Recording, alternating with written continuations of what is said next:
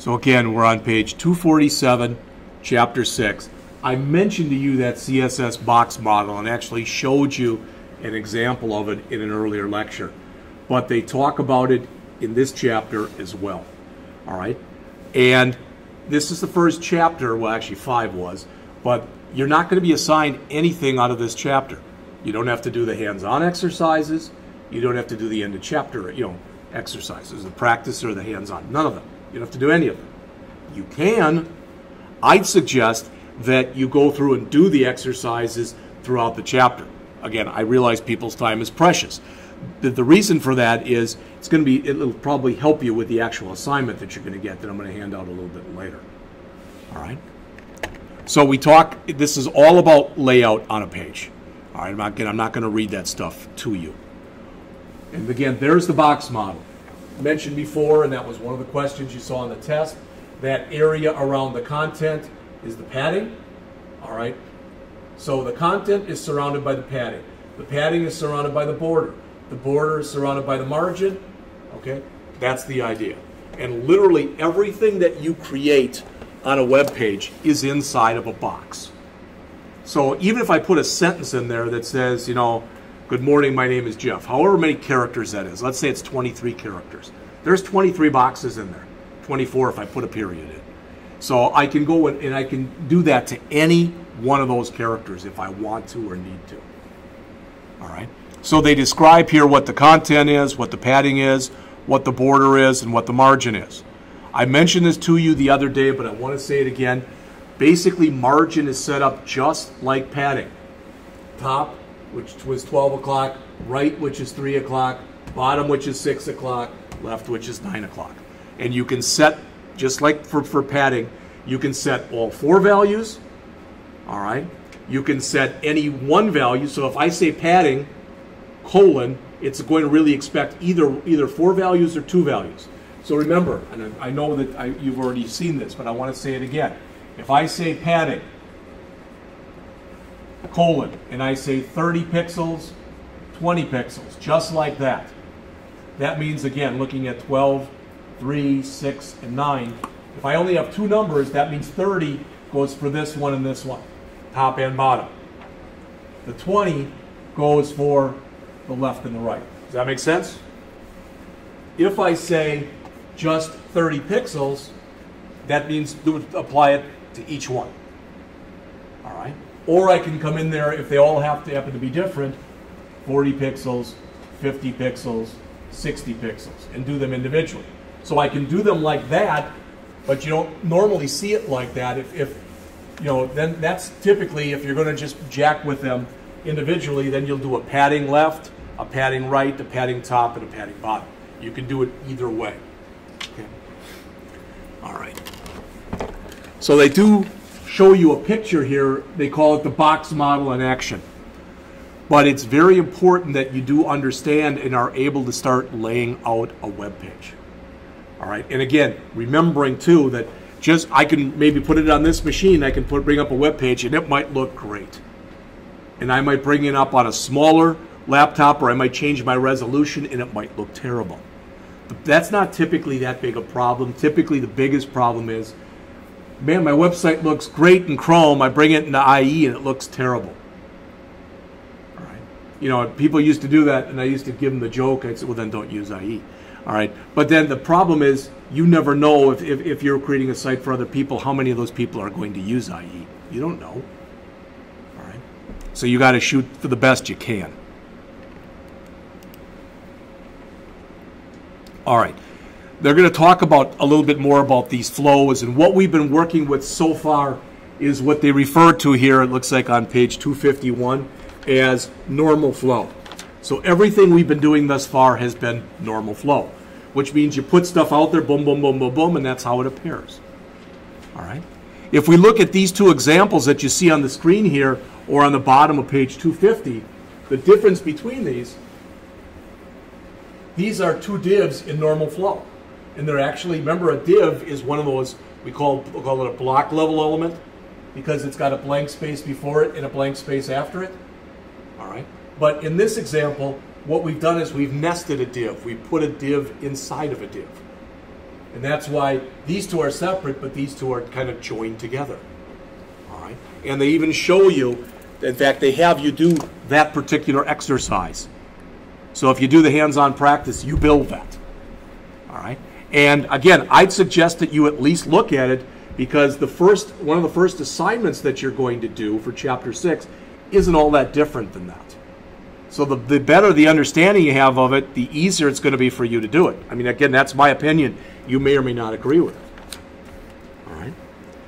Probably the most important thing up till this point in the book is I would really make sure that you take a look at the the, the uh, section that's section six three that starts on page two fifty two, because it talks about the CSS float property, and that's how you can position things on a page. Float really isn't a good word for it, all right, in my opinion. But if you look right there, it says this figure that you see up on the screen right here. It says it shows a web page configured with float right. And what that meant was what we floated to the right was the image. We floated it to the right. All right. And it says float to the right-hand side of the browser viewport. When floating an image, the margin property is useful to configure the empty space between the image and the text on the page. In other words, if you don't set any margin, this text might run right up against it. And that looks very amateurish. And again, the author shows you exactly how you do this, and you end up doing it in the hands-on practice on, on those pages right there, all right? And starts walking you through what you do. She has you lay different things out. You can float things to the right. You can float things to the left, all right? One thing to realize is if I set something up and I say float right, okay, and I, I keep putting stuff in and putting stuff in and putting stuff in, so I put in a bunch of images, I put in this, I put in that, it's going to attempt to keep floating stuff to the right. So not only can you float stuff to the left and float stuff to the right, but you can clear a float. And it's important to realize when you don't want to be floating anymore, if you want to go back to a normal flow, that you have to clear the float. And they talk about how to do that in here also. Okay? So notice it's not hard. Float colon left or float colon right.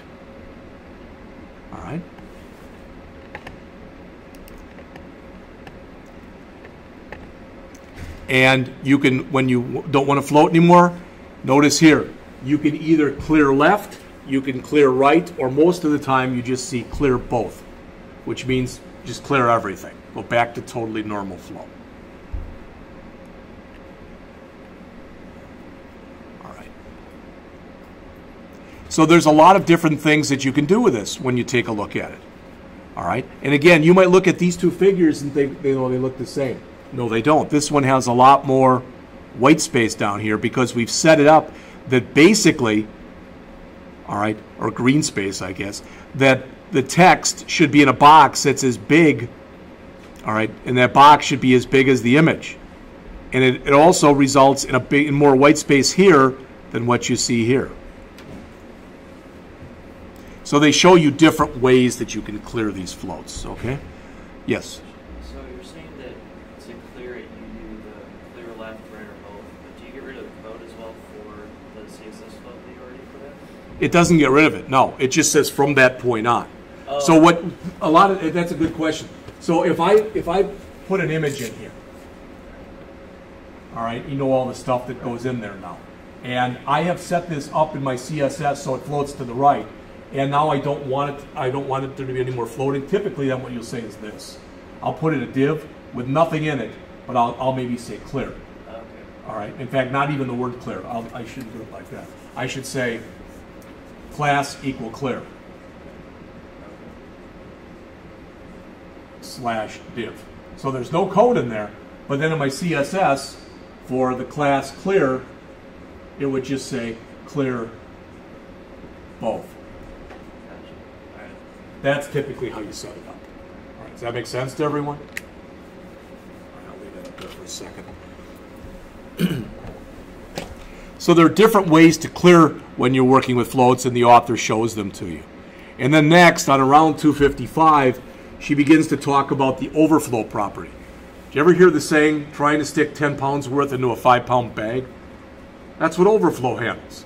So in other words, if I've got a certain portion of my screen that I've set up, so this is my area right here to hold a bunch of text, and I've got more text than it shows.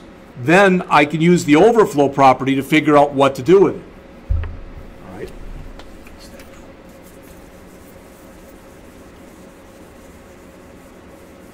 So it says visible, as it says, the default value, the content is displayed, and if it's too large, it overflows. So it just goes on, you know, it allows you to put 10 pounds worth into a five pound bag, so to speak. Hidden, which literally just hides it. All right. Auto, as it says, it'll add either a horizontal scroll bar or a vertical scroll bar or both as they're needed and scroll which will add a scroll add both those scroll bars whether you need them or not. So you are in charge of what it's going to look like. All right you say well all i have to do then is just make sure i've got enough room. Yeah but you may not have enough room all right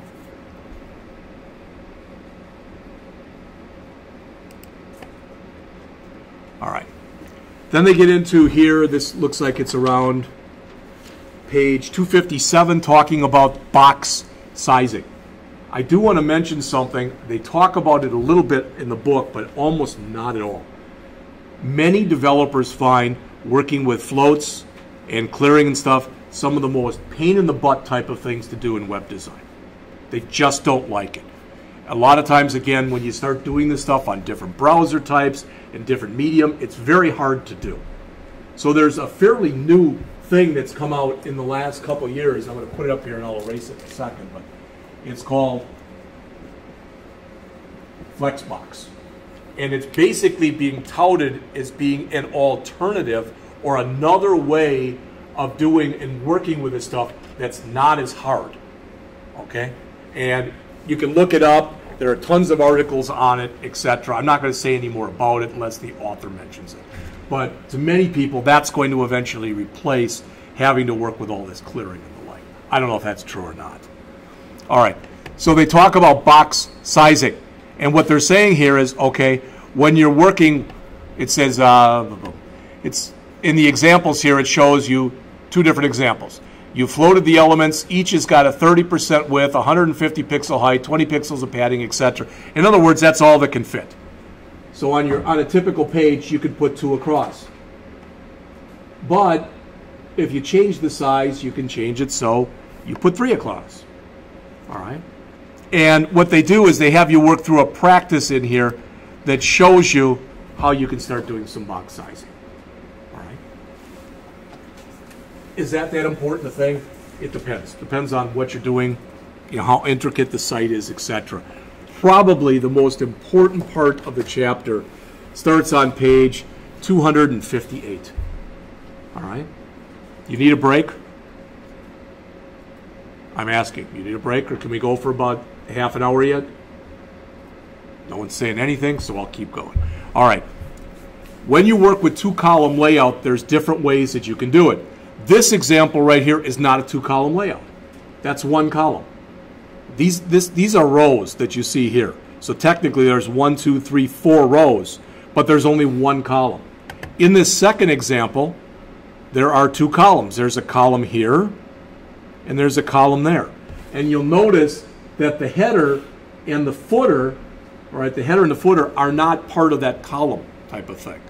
So again, they're talking about having the nav bar on the top as opposed to having it along the side. That doesn't necessarily, when you set up a two column format, that doesn't necessarily mean that along the left, that's always a nav bar. It can be anything you want it to be. In this chapter, we talk about a two column layout. In the next chapter, we actually talk about a three column layout. All right? I mean, I, can you have more than that? Of course you can. You can have as many as you want. Of course, if you're going to have a five, a, let's say a five or a six column layout, that sure is not going to work on a phone. Even if you turn it landscape, it's not going to work. All right?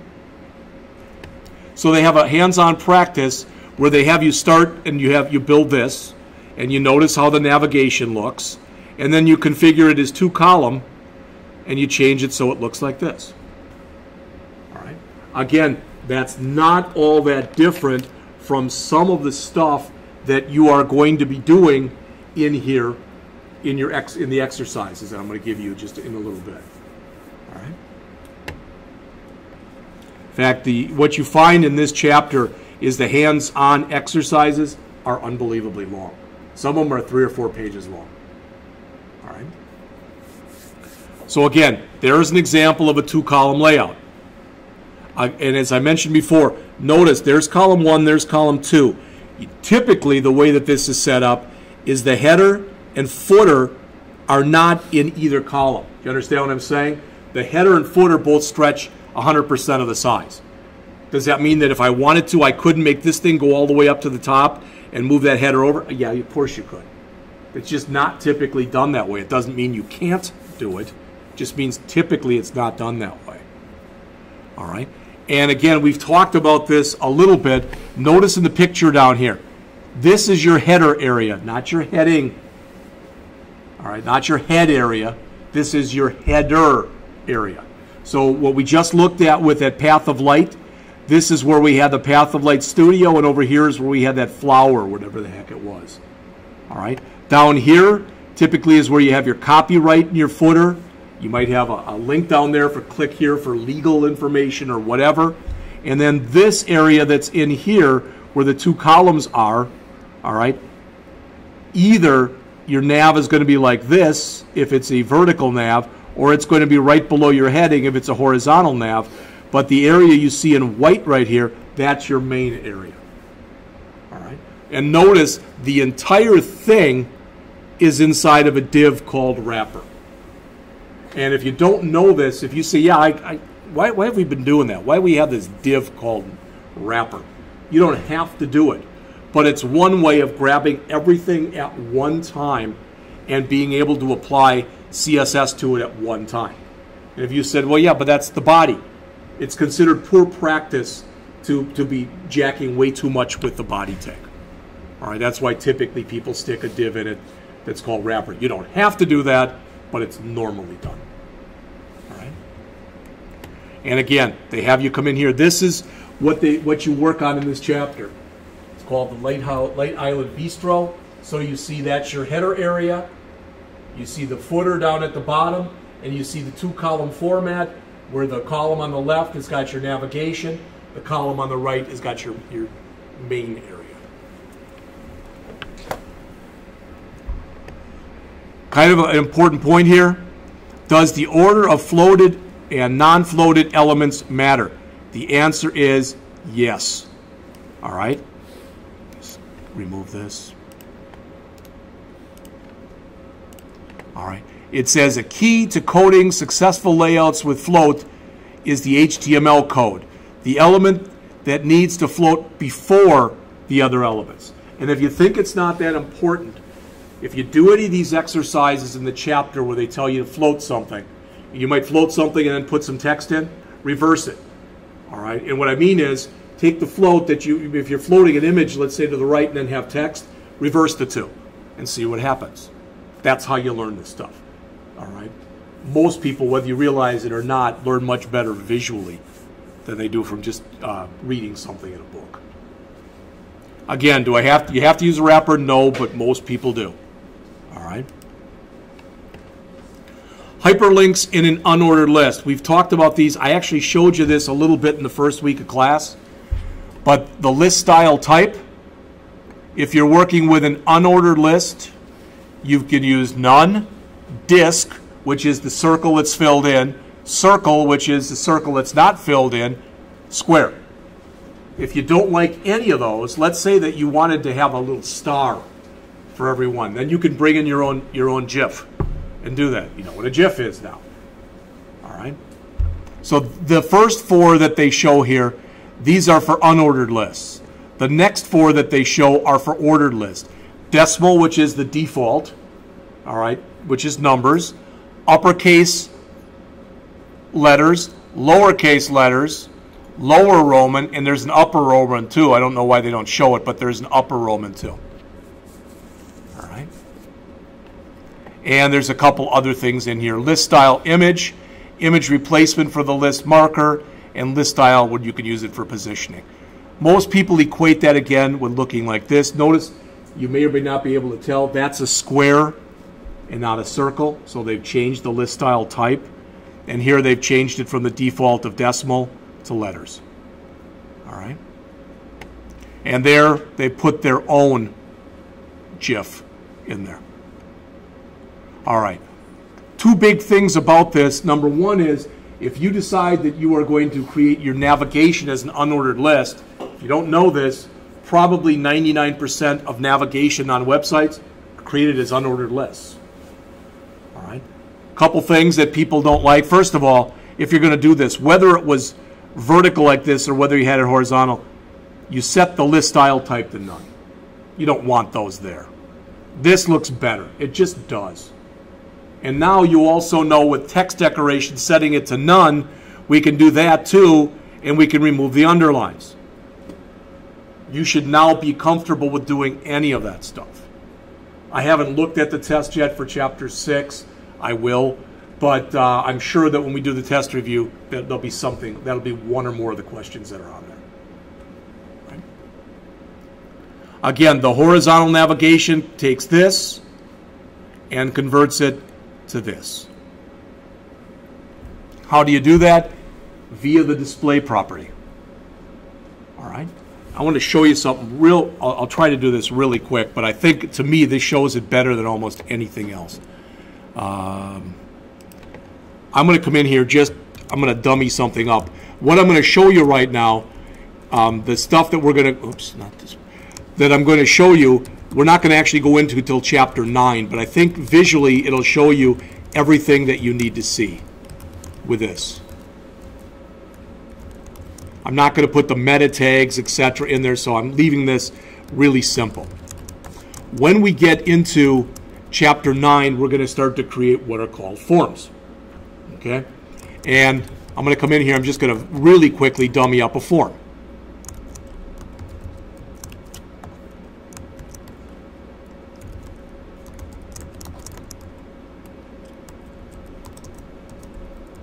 I didn't put in my beginning HTML tag. All right, if I come in here and I start putting in a form, so I'm going to say it say this: input type equals. Uh, I don't, want to do that. I'm sorry. That's the next line. Label for equals first name. First name. So again, this is the kind of stuff that we're going to be doing when we get to chapter 9.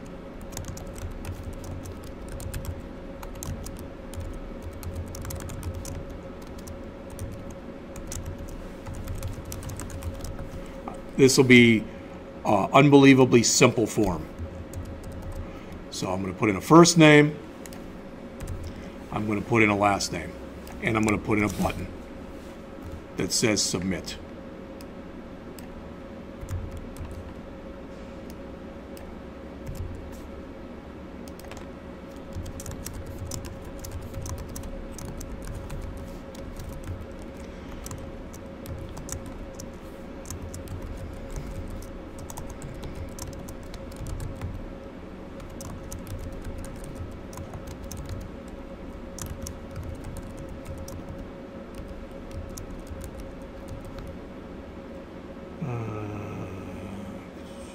Think that's it. If I screw it up, you're going to know real fast anyway.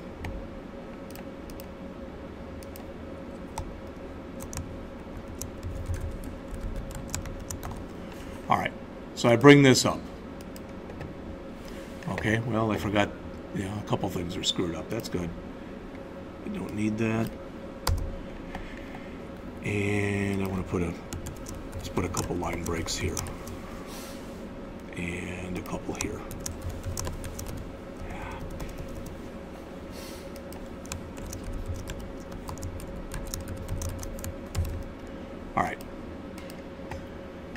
This isn't real bad.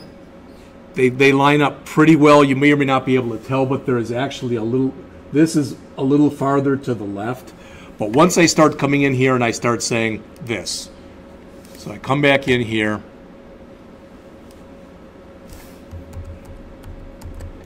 and I add, for example, address,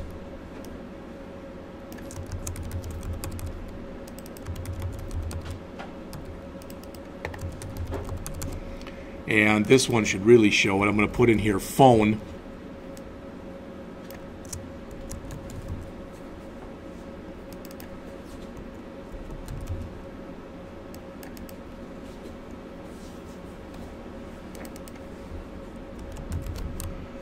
All right. What happens is you start building it and you see it doesn't look very nice. Again, it's not terrible, but it doesn't really look very nice. Okay, so I can come back up here and I can go into my head section and I can say style. You know what all this stuff is now. And I can tell it for labels.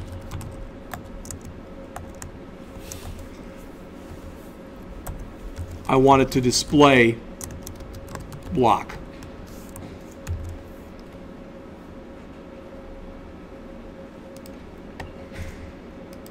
Now, is that pretty obvious what we just did?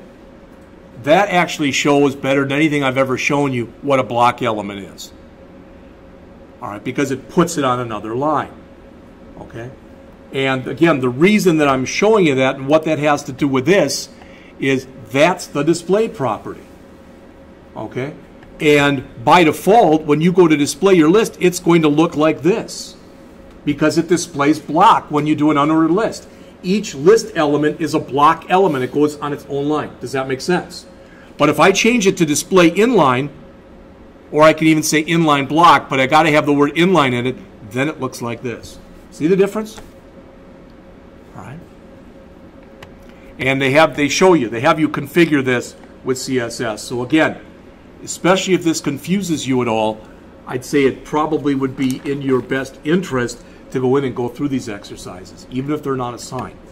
That's why, like I said, I don't want to go any longer, if, ideally till 10 or so today, you know, 10.30 at the latest, but give you an, an hour and a half or so to work on this. That's how you're learning, all right? Hopefully you're absorbing some of the stuff I'm giving you, but you're learning the most by doing it yourself. All right, the next are the pseudo classes. And what the heck is a pseudo class? Well, let's make it real simple. Let's go right to the same thing we just looked at. I don't want to put it in the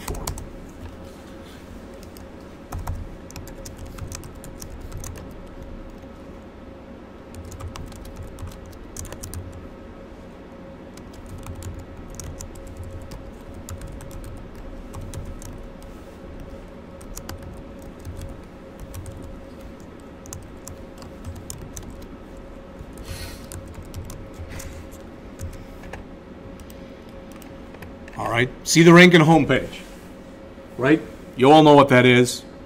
I click on it, the file was not found. Well, it probably needs the HTTP. I don't really care, but I might have to in order to be able to show you this.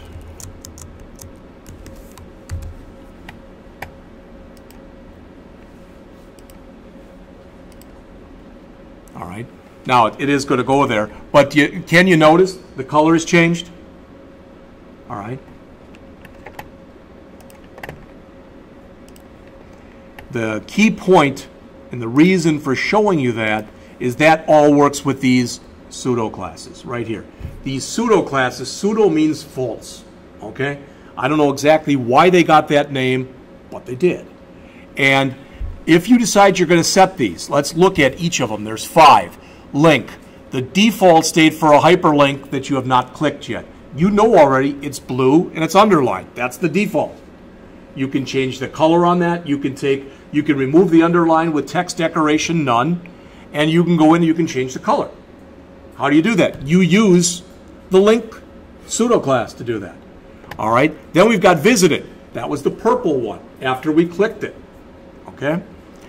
Focus triggered when the key the the hyperlink has the focus, which means typically you've clicked on it but you haven't let go yet. All right. Hover when you take your mouse and just hover it over it. And then finally, active sits when you actually click the link. Now, the key thing to remember, and you don't, again, is this going to be on the test? I'll let you know. But the, the key thing with those five is if you decide you're going to set all five of them, they have to be set in that order. So you have to do link, then visited, then focus, then hover, then active. If you do it in reverse order, for example, the last one's going to overwrite all the other ones. All right, so it has to be done in that order. All right. Okay.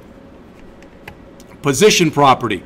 And we probably went through that too fast in the last chapter, but I want you to see this stuff that's in here. Notice when you position something on a page, you can do it in one of four ways. All right? You can do it static, which is means if you, you didn't do anything, it's just going to fall where it would normally fall in the mainstream of things. Have you ever gone out to a website? This this won't be an example, I'm sure. But have you ever gone out to a website where you keep scrolling and scrolling and scrolling, and it might be really long, and on the top of the page, they've got some kind of headings up here, but even when you scroll down to the bottom, you can still see the headings up on top. All right, because that's pretty important stuff, and you don't want that to change. That means you took that heading stuff and you had that fixed. You said you didn't want it to move. Okay? Relative, as it says, it configures the location of an element relative to where it would otherwise render in the normal flow. So if you want something to always appear, let's say that you've got some kind of a background image, and it's a real light image, but you want to make sure that it always appears on a certain spot in the screen. Maybe not necessarily in the middle. All right? You can do that, you can put, position that then relatively. And the last one is absolute, which means it does not move. So if I've got a web page and it looks like this, when I put stuff on there relatively, it'll put it here, then here, then here, then here, etc. That kind of thing. But if I have something and I put it in there and I set it up as absolute and I put it right there, that's where it goes. And you've got to be real careful because if you don't work your way around it and you put in your other stuff, it'll kind of go right over it. And there's a thing we're going to talk about in a later chapter that's called z-index that can help that from happening, or help keep that from happening, I should say. And again, they show you some examples. They have you do another hands-on practice in here. And might not look like a big thing. See that? Where the mouse is, where it says sign up. That's a hyperlink. You can use CSS to take a hyperlink and make it look like a button. You don't have to do that, but people are typically, you know, fairly cool at clicking buttons. Oh, look, there's a button to sign up. No, it just looks like a button. If you didn't put the, the rounded corners on it and you made it kind of the gray background, you could make it look exactly like a button if you wanted to do that. All right, again, you can do that with CSS. And they have you do some of this again in the next hands-on practice. So they have you change them so they look like this. And again, you might look at that, I might look at that and go, those are really ugly. I would never want to create links that look like that. That's not what's important. The idea is that you can, and that could be any background color you wanted, and the text could be any you know color that you wanted. Plus, notice that they have it set up so when you highlight one of them and you're hovering on it, notice how the color changes. All right. So they have you do a practice with a with a two column layout. Again, this might be the one of the largest practices in the book. It starts on 268 on the bottom of the page. It's 268, 269, 270, and 271. All right, it's four four pretty complete pages. This is what you get when you get done. Notice they've taken the navigation and moved it from the left to where it was over to the right, and it's still a vertical it's still vertical. But now when you highlight one of them, it's got, it goes to reverse video almost. So instead of blue with white writing, it's more whitish, kind of gray, with blue writing to show which one is active. All right. Header text image replacement. It says here, sometimes a client may have a specific font typeface other than web-safe font, that they would like to use in the header. In other words, you know you're contracted by some company and the person running the company says you can make this any way you want but this is our logo. Somebody created the logo for them in other words. And it might have some god awful font that you don't agree with but that's what they want. All right? So what they're saying with this header text image replacement a lot of times what you can end up doing is you uh, you'll it'll be an image. Literally the whole thing will be an image and you can play around with it. So it says here a popular technique called header image replacement allows you to configure a header eh, banner image that displays text along with an H1 element. So you've got a logo and the element. It says the key is that the H1 text does not display within the, brow- the browser viewport, but is available to assistive technology and search engines. So, in other words, you can have that. So, if someone is blind, you can set it up to, to give them whatever information you want to give them. I'm not going to click it, but if you click the link right here, it brings you to that CSStricks.com, and it's a pretty good article. All right, I'll look through it a little bit. All right. The next thing that they have you doing here, and again, I'm going to say this, you may or may not agree at all. This might be one of the more fun things that you've done in here in this book so far. They have you literally build an image gallery. And when you build an image gallery, there are many ways you can do it. You can do it just using HTML and CSS, which is what they have you do here. You can build it with HTML, CSS, and JavaScript, which we will do some of that when we get to the JavaScript portion of the class. And you or or you can build it using CSS, HTML, and a JavaScript library called jQuery. That's probably the easiest because you put in one line of code. You tell it basically that it is a slideshow presentation. Boom, and it does every it configures a lot of the stuff for you automatically. All right. But in this example, as it says, you create the web page shown which groups with groups of images as captions. All right. It says the images float on here, okay, and they run through everything that you're supposed to do. I think again, it's a really good example because it starts to show you how you probably want to lay things out as a developer or a way of laying things out as a developer. Now, we talked a little bit earlier, but now they're in the next, I don't know, four or six pages, they're really going to talk about this static positioning versus fixed positioning versus relative positioning versus absolute positioning. These are things I, in some form or other. One, two, three, or all four of these will be on the next test. I don't know. Like I said, I'll look at it later.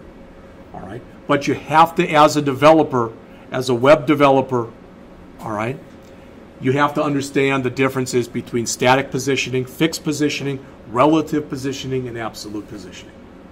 All right, we've started to go through over them already. Notice again, static is the default. It just says put stuff in where it would normally fall. That's all. It's like you didn't. It, it, look at it this way. It's as though you added stuff onto a web page and you didn't even add any CSS. Okay, that's probably the easiest way to look at it. Fixed. Well, if we decide that regardless of how you scroll this web page, maybe it's a fairly long page, we want right here where I've got the, the mouse going, that's always going to be where your menu is. Then that's fixed. As it says, it causes an element to be removed from the normal flow and remain stationary. It does not move. Even as you move your way throughout the site, it doesn't move.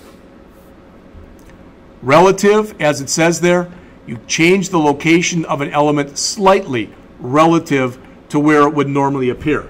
So you want it moved a little left or a little right or a little top or a little bottom type of thing. All right? And a lot of times, especially when you're working with relative positioning, you've got a website that looks almost exactly the way you want it to look, but you get into where you you're into what's called tweak mode. You're tweaking it. It's pretty good. It's like 99.8% of the way there, but I, I want to move this over a real little bit, except that's when you start using a lot of this stuff. All right.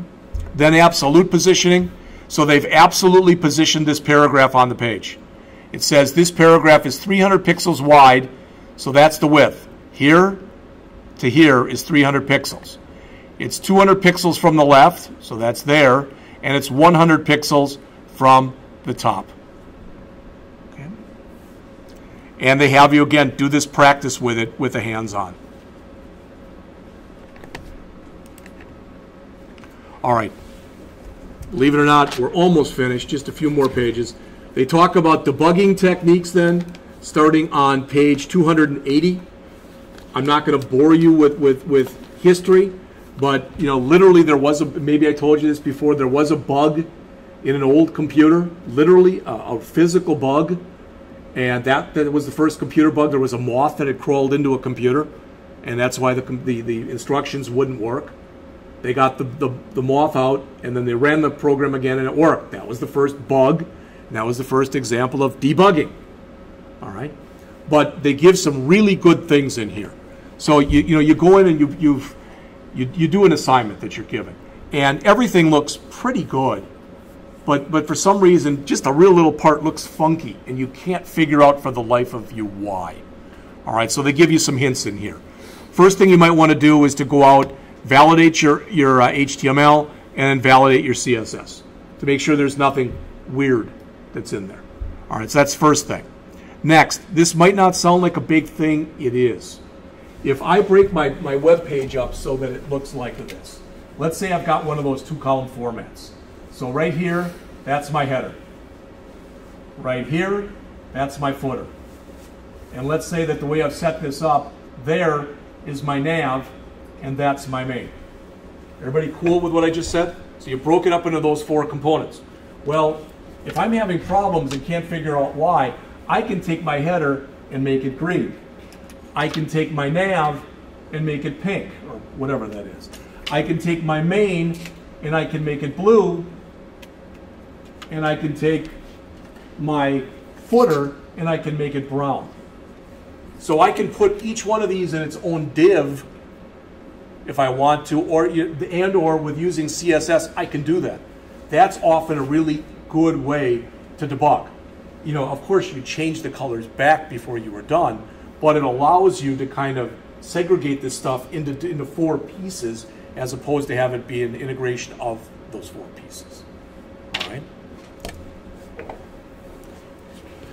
You can put temporary colors. You can put temporary borders on if you want. Does everybody realize right there, if you look at this line that I'm highlighting that's now in blue, that when you put comments in in CSS, in a CSS file, so a file that ends with .css, it starts with a slash star and it ends with a star slash, whether it's one line or multiple lines. So in other words, here's CSS comment. So if I wanted to make a CSS comment, it's slash star and it ends with star slash. With an HTML comment, it looks like this.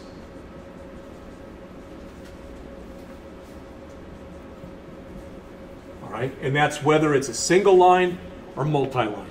But that's stuff by now that should be committed to your memory. Okay.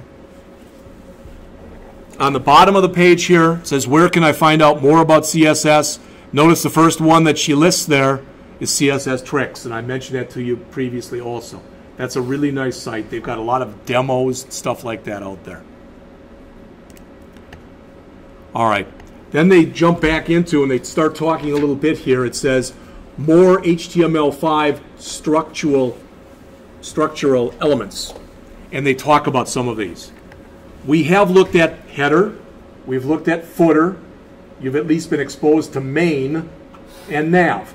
Those are four of the main HTML5 newer elements. But there's also section, article, aside, and time.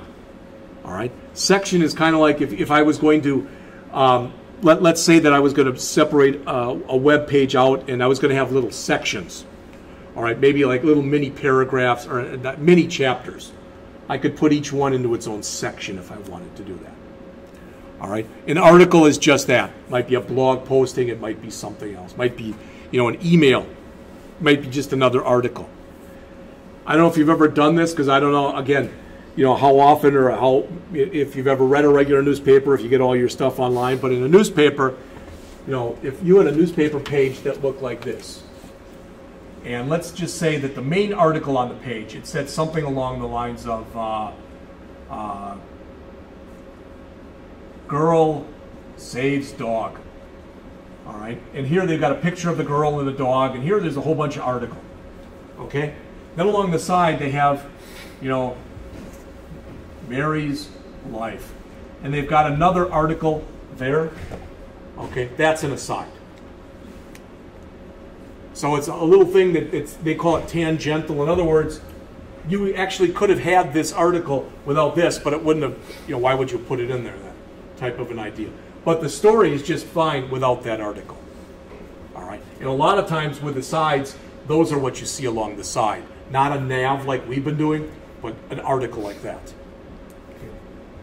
So if this was the home page for a company, and I had the logo here and the company information, this might have either a list of URLs, you know, popular URLs for the site, or maybe com- company's history, or maybe our CEO type of thing, where they would have an article about the CEO, that kind of thing. The time element that they mention is literally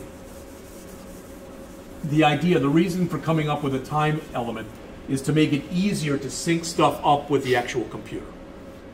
All right. All right. Again, you'll notice there's another hands-on. They have you build this.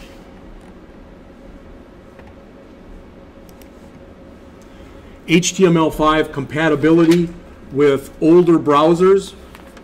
This literally is about the last page that's in here. All right. Right here, this line, a little hard for you to read probably, but if you see it, if you've got your book, it's on near the top of page 284 or 285, I'm sorry. And what this does, that line, is it says if you're using IE8 or lower to view this web page, it might not view correctly. So what it's doing is it's saying any of those HTML5, this is all HTML5 stuff. Header, main, nav, footer, section, article, figure, fig caption aside. All nine of those things are HTML5 only. But if you're using an older browser, it probably doesn't support HTML5. So it says whenever you see these HTML5 tags, just do a display block on them. And you know what block is because I showed you that earlier. All right? All right. It's also sometimes put in like this. This is referred to as a shim. I've actually heard it called a shiv instead of a shim. And what it does is it says if you're using an older browser and you come across a tag that you don't understand, ignore it. Does that make sense? That's basically what it says. All right. There's one last thing I want to show you because we have reached the end of the chapter, but I, I don't know if you know this or not. So I very quickly want to show you this, and that is this. All right. Um, I'm going to go back to this art, this thing I showed you before, and now that we know how to comment out with HTML, I'm going to comment that out. All right, and I'm going to throw just a couple things in here just because it'll make more sense when we do this.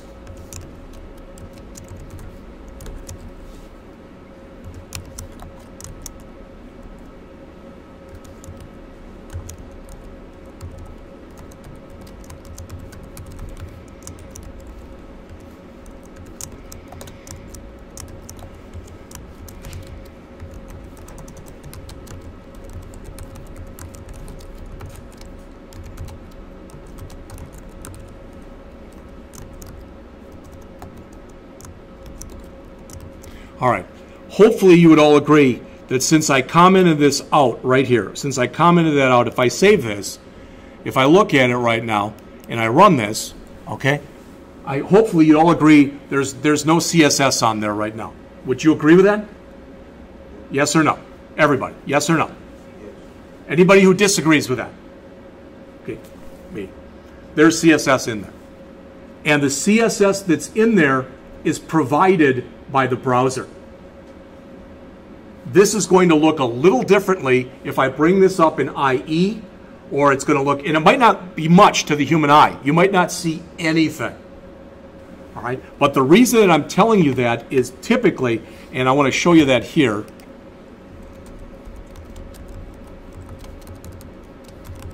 There's a gentleman who's been real big over the years in CSS. His name is Eric Meyer. And he developed this file, and it's all right here. The whole thing is right there. That's called the CSS reset file. And what does it do? I, it's much, again, much easier to show you. I'm going to grab his file, and he encourages you to do this. Copy. And I'm going to come in here, and good, it's on my desktop.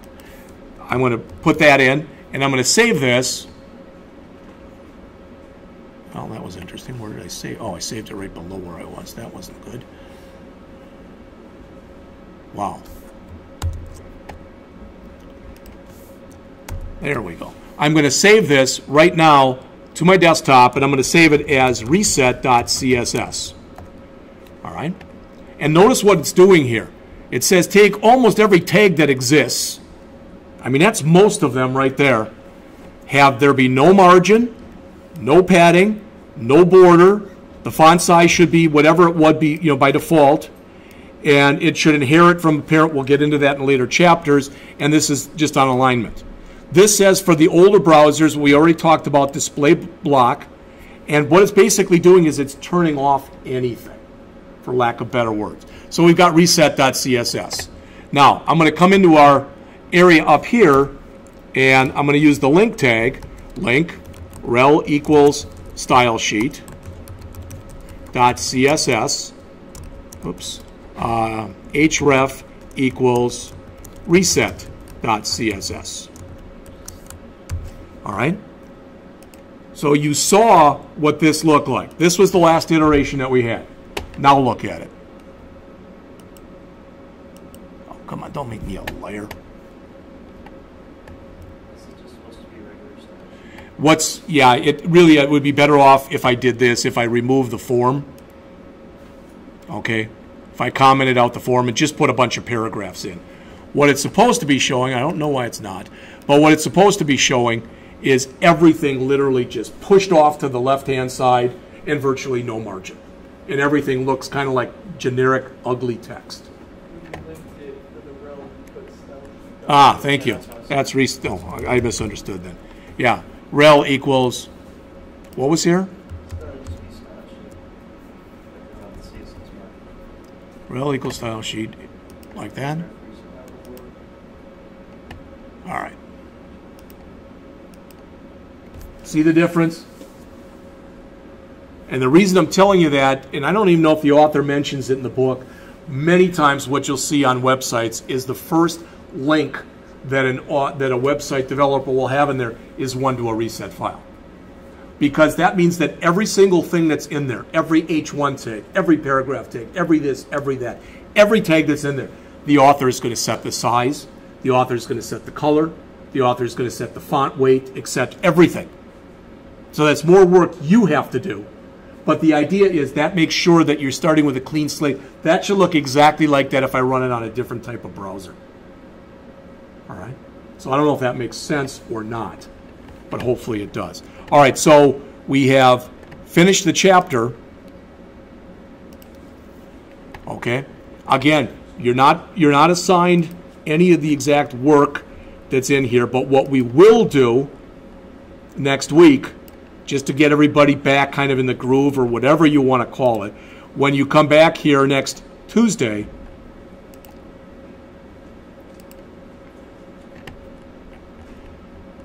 is we will do the exercise again for the path of light. I know with some of you now it's driving you nuts, but uh, what we're going to do is we're going to configure, we had the links up here before, we're going to configure them along the side, make them look like buttons, all right, so you can see how it's going to change.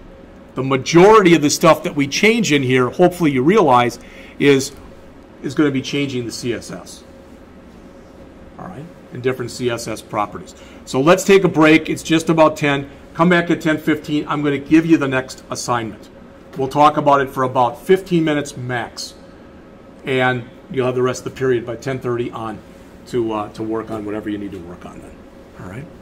I'll try to grade the tests then starting at 10:30 so I can give them back for you to look at. Again, if you haven't turned me back in, a couple of you still have not, the old copies of your tests and stuff, please get them back to me as soon as you can. Okay?